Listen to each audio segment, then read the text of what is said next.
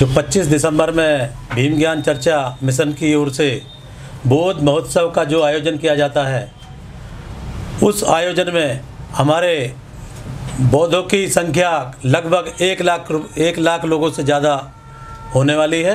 तो मैं मीडिया के माध्यम से ये अपील करूँगा कि वो प्रचार प्रसार के माध्यम से हमारे जो इन प्रोग्राम में आने वाले हमारे मुख्य अतिथि और वक्तागण हमारे बनते करुणाशील जी, उनके साथ साथ हमारे दूसरे वक्ता के रूप में डॉक्टर राजरतन अंबेडकर जी, हमारे तीसरे वक्ता के रूप में इस प्रोग्राम में आने वाले डॉक्टर कौशल पवार जी और इस प्रोग्राम में जो हमारे भीम ज्ञान चर्चा मिशन से ही जुड़ी हुई वक्ता शकुन बौद्ध जी तो ये जो प्रोग्राम है, हम बौद्धों का एक ऐसा पारंपरिक प्रोग्राम है, पांचवा प्रोग्राम, जो पांचवा ये बौद्ध महोत्सव है, इस महोत्सव में हम ज़्यादा से ज़्यादा लोगों को लाने के लिए अपील करते हैं। मैं नरेश गौतम,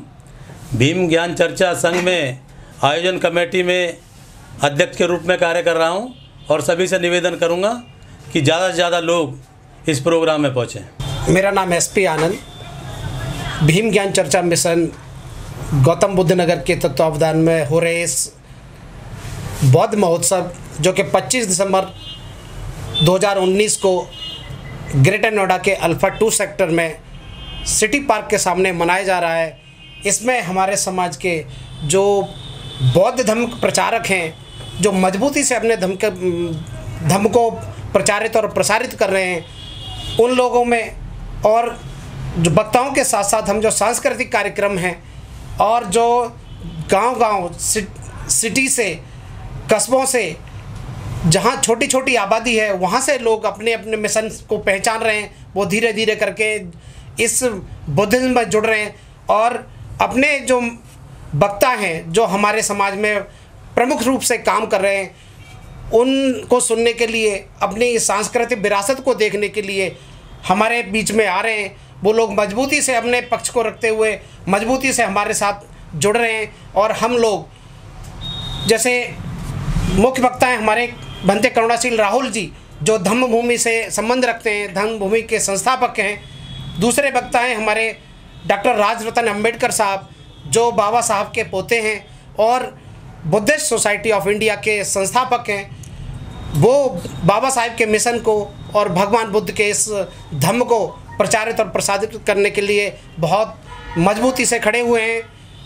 तीसरी वक्ता के रूप में डॉक्टर कौशल पवार हैं पवार हैं, जो कि एक ऐसे समुदाय से आती हैं, जो समुदाय सदियों से पिछड़ा रहा, जिसे सफ़ाई के अलावा दूसरा काम नहीं देखा गया, न दिया गया, न उन्हें समानता, मानवता का दायरा दिया गया, उस समाज से निकल करके एक दिल्ली विश्वविद्यालय में संस्कृत की प्रोफेसर नियुक्त हुई हैं और काफ़ी दिनों से दिल्ली विश्वविद्यालय में अपनी सेवाएँ दे रही हैं। बुद्धिज़्म का देश में क्या विदेशों में भी काफ़ी प्रचार प्रसार कर रही हैं।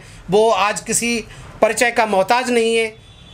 आपके इस प्रोग्राम में शिरकत कर रही हैं। चौथी वक्ता के रूप में हमारी समाज की ही बेटी श्रद्धा शकुन बौद्ध, जो कि प्रबुद्ध सेवा संस्थान की संस्थापक हैं, चेयरमैन हैं। वो शिरकत कर रही हैं और अपने लोगों को भीम ज्ञान चर्चा मिशन के माध्यम से गांव-गांव कस्बे कस्बे गली गली जा कर के जागरूक कर रही हैं। हम आप लोगों से, इस मीडिया के माध्यम से, आप सभी लोगों के माध्यम से अपील करते हैं कि इस आपके अपने बुद्धिस्ट प्रोग्राम में ज़रूर आएँ, भारी तादाद में आएँ, आप अपने रिश्तेदारों, संबंधियों और दोस्तों के लेकर परिवार के साथ आएँ। सभी को जय भीम, नमो बुद्धाय।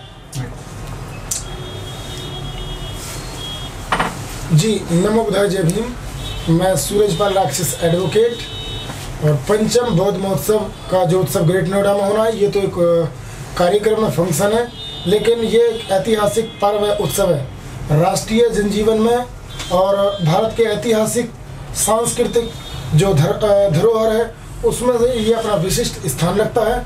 तो इस पारंपरिक बौद्ध उत्सव में आप आइए, इसका आनंद लीजिए। ये ऐतिहासिक उत्सव है। ये उत्सव समता न्याय और बंधुत्व पर आधारित उत्सव है। ये प्रेम और भाईचारे का संदेश देने वाला उत्सव है। बौद्धों की एक अमिट विरासत है। आप इस कार्यक्रम में आइए और बौद्धों की अमिट विरासत से रूबरू होइए।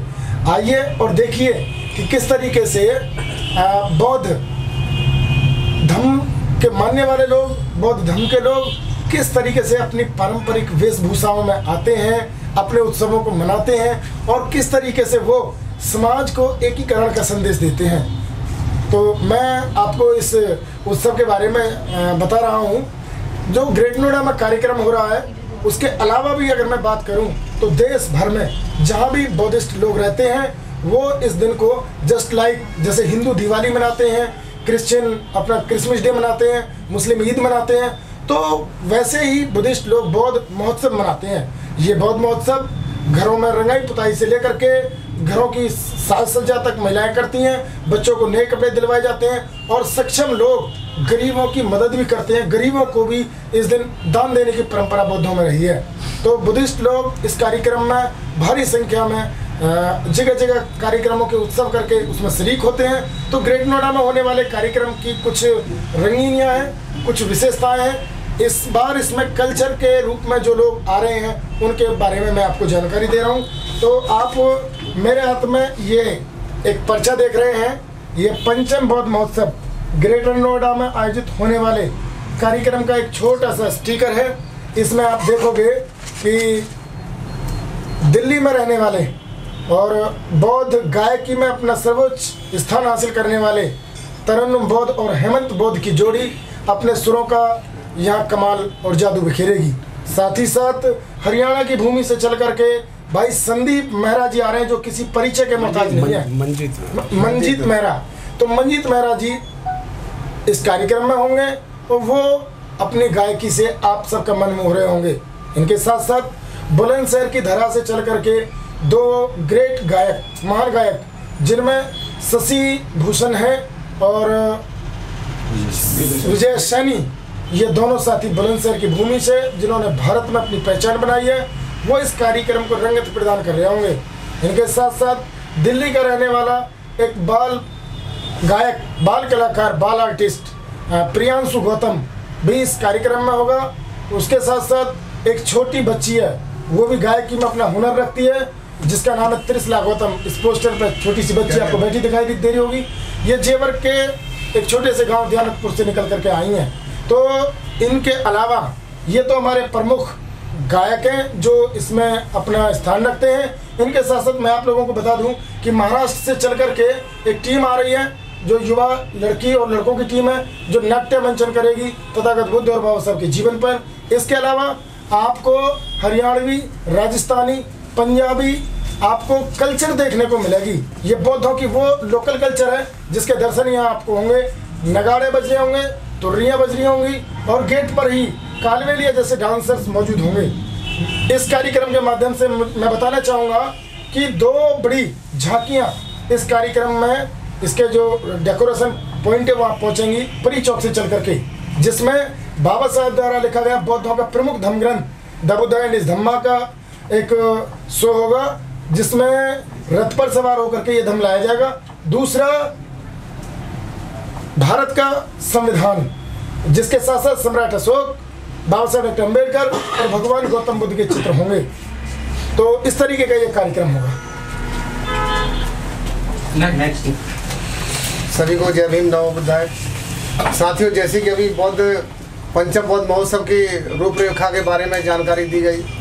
हम इसके बारे में गाँव गाँव गाँव गाँव जाकर के लोगों को बता रहे हैं। और जैसा कि आप सभी जानते हैं कि 26 जनवरी 1950 को जब बाबा साहब ने संविधान बनाया और वो संविधान लागू हुआ तो उस संविधान के लागू होने से हमको वो सब अधिकार मिल गए थे, जिन अधिकारों से हमको वंचित रखा गया था। उन सब अधिकारों को मिलने के बाद में हम लोगों की शिक्षा के द्वार खुले बिज़नेस के द्वार खुले, नौकरियों के द्वार खुले तो हम तरक्की करके आगे बढ़े। और जैसे जैसे हम आगे बढ़ते रहे तो जो हमारी एक धार्मिक पहचान और जो हमारे एक धार्मिक उत्सव, महोत्सवों की एक पहचान थी, जो कई समय के आगोश में लुप्त हो चुकी थी, उसको बाबा साहब डॉक्टर भीमराव अंबेडकर जी ने 14 अक्टूबर 1956 को विजयदशमी के दिन नागपुर में बौद्ध धर्म की दीक्षा लेकर के पुनः स्थापना की और हम उनके दिखाए हुए उस रास्ते पर आगे बढ़ते हुए जो बौद्ध धर्म के मुख्य उत्सव और महोत्सव के रूप में हम उनको मनाने की प्रयास कर रहे हैं और गांव-गांव जाकर के लोगों को बता रहे हैं। तो जैसे भी हम गाँव में जा रहे हैं तो रात को हमको दसवीं बज जाते हैं ग्यारह बज जाते हैं लेकिन पब्लिक में इन उत्सवों को लेकर के जो जोश और उत्साह का माहौल है कि वो हमारे जाने से पहले ही अगर उनको थोड़ी भी जानकारी मिली हुई है तो कहते हैं कि हम लोग आएँगे। और ज़रूर आएँगे कि ये प्रोग्राम जो है, हमारे इस रीजन में एक बहुत बड़ा प्रोग्राम होता है, और ऐसे ही प्रोग्राम हमेशा होते रहने चाहिए।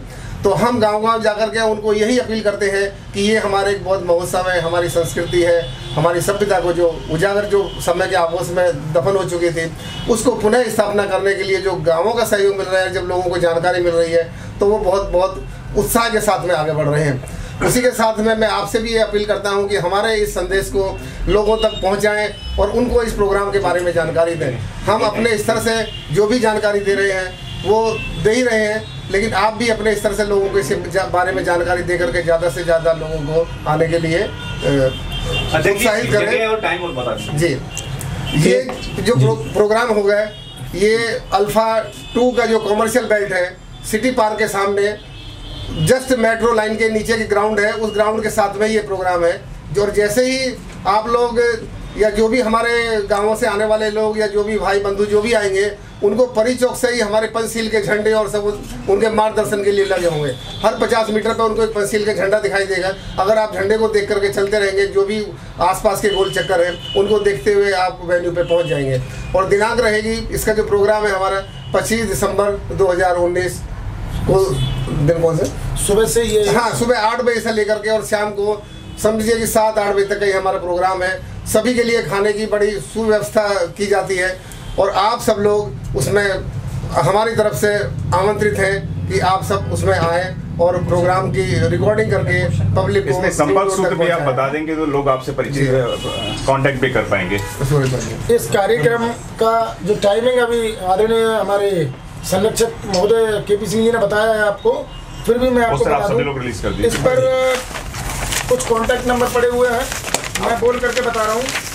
Nine eight double one one six double two seven two. ये प्रेसिडेंट है ये कार्यक्रम के प्रेसिडेंट है उनका नंबर है। दूसरा नंबर कार्यक्रम के जनरल सेक्रेटरी का है। Seven five zero three six seven five zero six nine.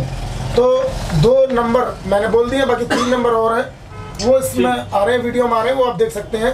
तो कार्यक्रम सुबह से ही स्टार्ट होगा पच्चीस दिसंबर का दिन होगा शाम तक कार्यक्रम चलेगा जो व्यक्ति जितना जल्दी आएगा वो उसका आनंद लेता है।